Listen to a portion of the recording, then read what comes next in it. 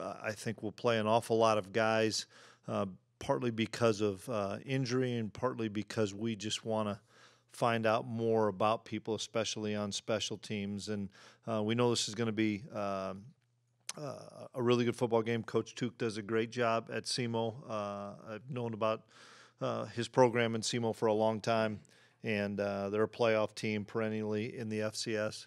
Uh, they're probably the best team in the OVC this year, and they have really good talent. So we, have got to play exceptional football uh, to give ourselves an opportunity to be successful, and um, that's the key for us. Is we've, we've got to continue to push these young guys because um, they need to show up and, and play well on Saturday we haven't talked to anybody yet to say, "Hey, you're going to redshirt." Um, there's probably some some known names that are O linemen, D linemen that uh, um, need that year of development, um, and there's a lot of positions that um, we're probably going to need to play. You know, just because of the depth and because of us learning more about guys and um, some guys were here in the in the spring that gives them an advantage, and, and other guys like Asa Newsom just showed up in June, but was mature enough to uh, get into the depth chart, and we're excited about uh, those type of players because um, you know with the the long haul of the season, you're going to need all of them.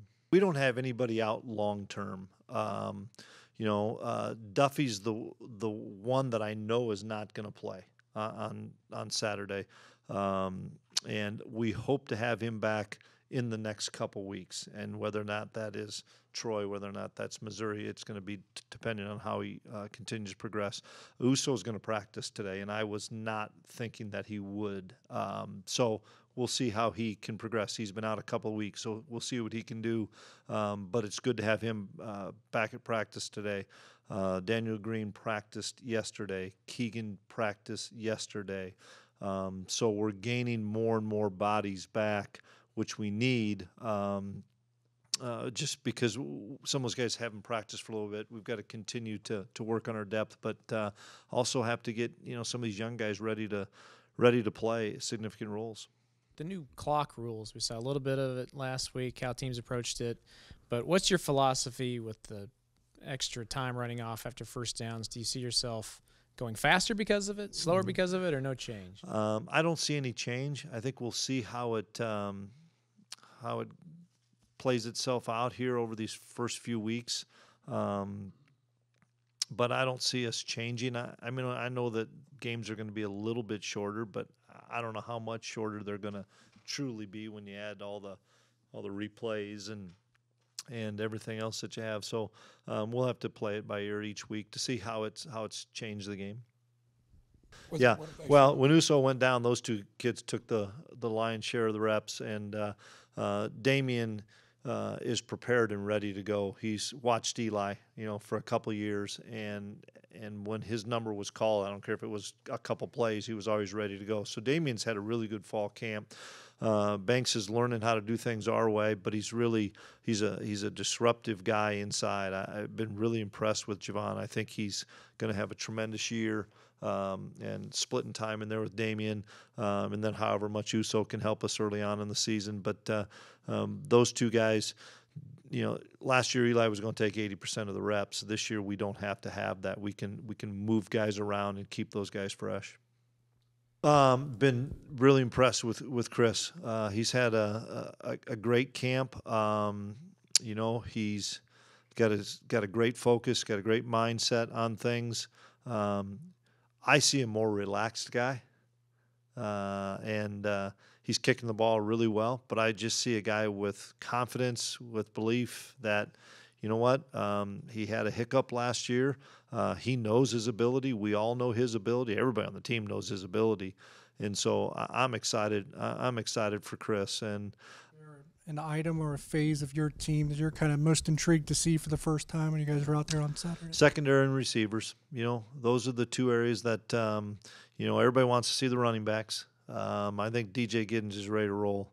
Uh, and I know Treshaun is too. Just our, our, wide receivers. I think RJ Garcia's had a tremendous fall camp, and you talk about confidence and belief.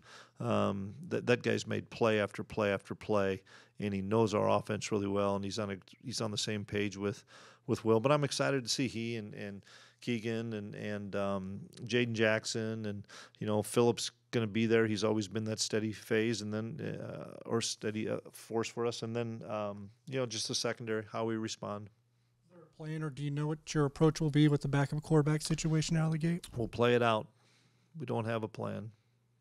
Will Howard, and then whoever's the next one that CK is ready to go with. Going off that a little bit, have you had a situation where I know he was here for spring, a true freshman come in and, and work his way to being an or for for the second string for, for quarterback? Uh, Easton Stick was when we had him up at, at, at NDSU, and, and he's with the Chargers now, so rightfully so. Um, Avery's done a really good job uh, of you know being here in the spring and learning as much as he can, uh, and learning from Will and learning from Rubes, and just um, is having a really good fall camp. Um, and so is so is Rubley, you know, and, and Jake missed a handful of days about a week ago that maybe gave Avery some more reps to for us to see more and more of Avery. But then Rubes is back healthy, practice last few days, and doing some really good things. Um, so we feel really comfortable at the quarterback spots. We we feel like um, you know that, everybody knows that Will is is the guy. Um, but both the other two are competing every day for the number two job, and and um, we'll just see how it plays out. I, I can't I can't tell you how it will work um, if something happened to Will. Uh, who would go in? You know, it's something that CK and I are, are really you know, talking about on a daily basis. No. To not to listen to the media. Because you know, yeah, I mean, it's there's a lot of great expectations out there, and I appreciate all you guys uh, throwing those high expectations on those guys um, because they've earned the right because of what they did last year.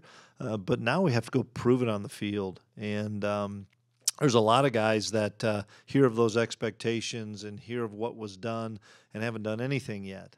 You know that that are are in our two deep or are starting that haven't played for us yet.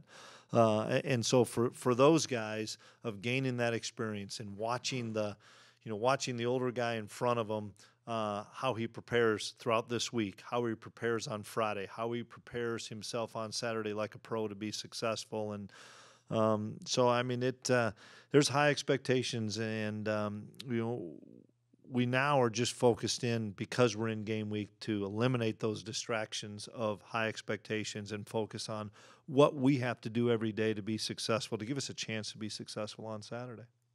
I also wanted to ask one about the running backs when it comes to DJ and Treshaun and maybe even Anthony, somebody else. How, how what's the perfect way in your mind to divvy up carries in game one? It's a good question. It's just going to depend on on uh, how the how the flow of the game's going. I'm going to let BA handle that. Brian, I think, is one of the best running back coaches in college football, and BA's done this a long time. And and you know whether it's hot hand, whether it's uh, the plays we're calling, you know Brian's got a great great feel for what these guys really do. And and you're right. There's a number of guys that can that can carry the football and, and protect and catch the ball out of the backfield. And so uh, I'll leave that to BA, but BA's got a good plan for it.